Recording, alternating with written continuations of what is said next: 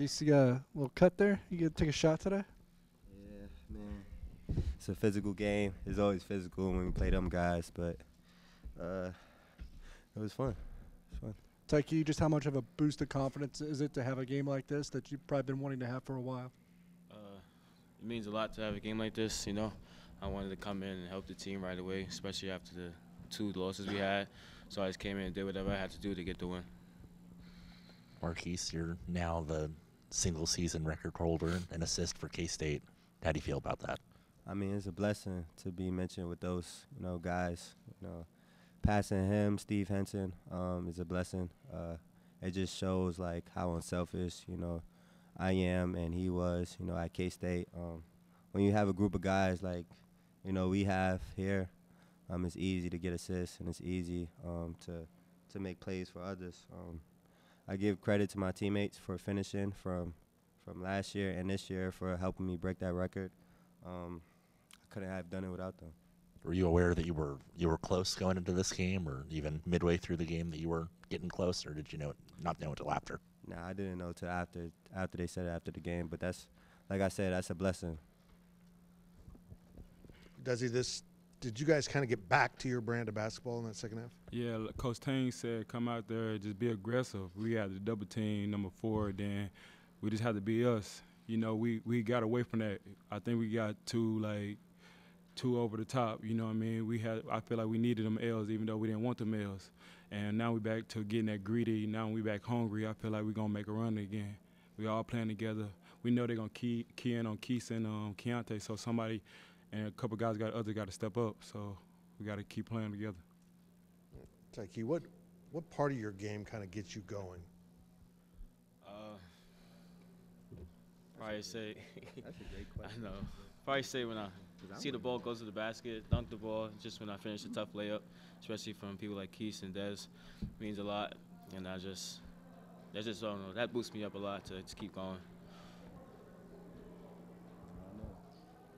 Desi, uh, I'm curious from your perspective.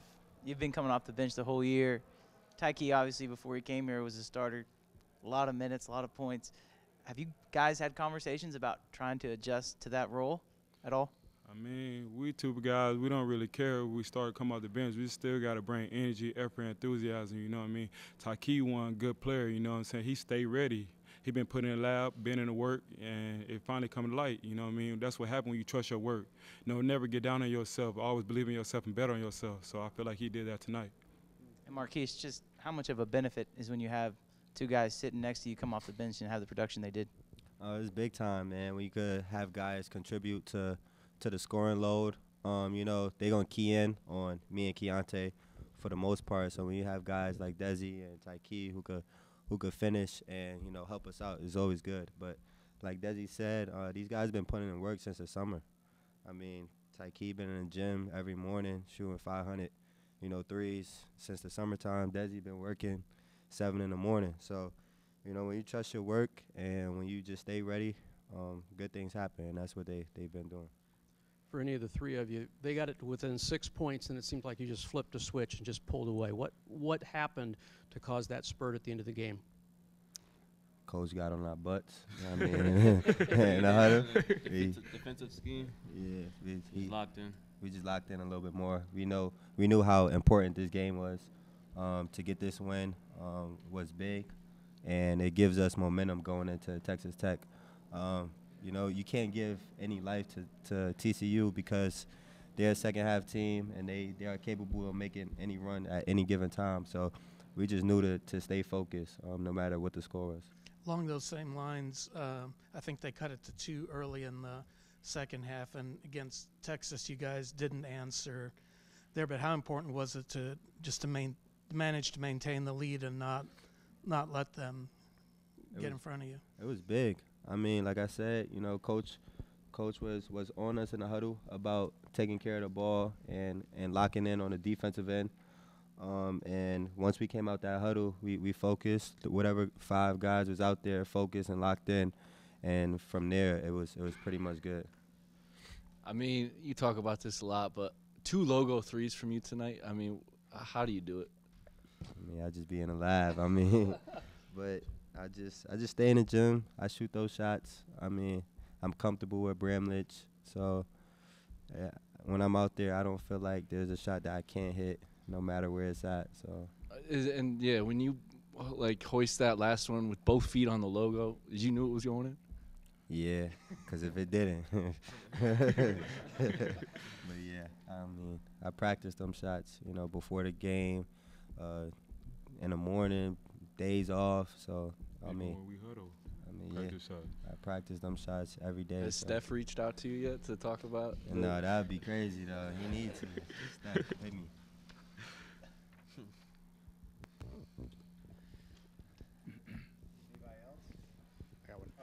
Markquis, on top of the single season record, how does it feel to get this win? I mean, it's good. It always feels good to get a win underneath our belts, um, especially against a top 20 team. Uh, but I mean, we we had you know Tyke step up, Desi step up, uh, Dave stepped up. So you know credit to, to my teammates because they really stepped up when when we needed them. So. Tyke, you guys win the rebounding battle 40 to 28, and you had the team lead in rebounds. Just what were you doing that was working so well offensively and defensively on the glass? Pretty much just started in practice. You know, we do um, what's Circle the the, wagon. circle the wagon. Man, We got to go in there and tussle everybody out to get a rebound. You know, Taj is helping us prepare for games like this, so I feel like that helped us out a lot. Shout out to the scout team too, because they did a good job of preparing us. You know, this for this game, with rebounding, giving energy inside of practice, um, and just you know making it tough for us in practice. Uh, they they didn't let up each and every day. They gave us you know their best shot, and that's why we ca- we were so prepared and focused tonight. Taj, man. Yeah, he does a lot of great things. He's like really matches my physicality, so we just go at it with each other and make each other better. Oh, he's gonna be a great player for A monster. Great player. Great player. He's like a magnetic. When he, I don't know what it is, but when a shot goes up, Taj is always there rebounding. Whether it's like offensive rebounder or defensive rebounder, you can always catch Taj. You know, Well, he, grabbing the he ball. remind me of myself. So Yeah. Tyke to be able to come off the bench um, and bring a lot of energy and you know effort plays on the glass. Like how important is it to be able to do that, um, considering your role this year, where you don't know how many minutes you're going to get on a night-to-night basis? Uh, I mean, it was very important. You know, I went to coach the yesterday or two days ago, and I told him I want to do whatever it takes to help the team. So he gave me a chance, opportunity, and uh, I did just that. Marquise, you've been on teams that have been on the NCAA tournament bubble before. Now that you, it looks like you guys are pretty solidly in, I'm wondering how much differently do you look ahead? Do you find yourself looking at bracket projections, and what do you think about solidly being in the field at this point?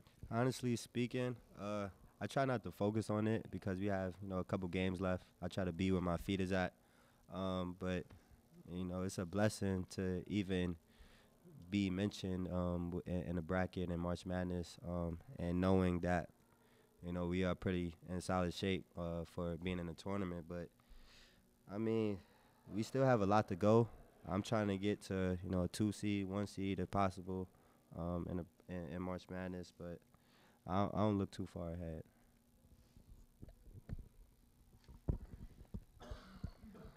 You guys really hadn't been in a position like like you were going into this game, losing three of the last four. I know coach was was fairly angry and upset with how Saturday went. What what were the days leading up to this like practice wise? It was hard, difficult. We had to do circle the wagon a lot, a lot of rebounding, cause we got out rebounded on the losses. You know what I mean? Mm-hmm. In the second half, the teams that we lost to, we they scored 45 points in the second half. So we try to limit that and try to just be us and just try to be aggressive on both ends of the floor.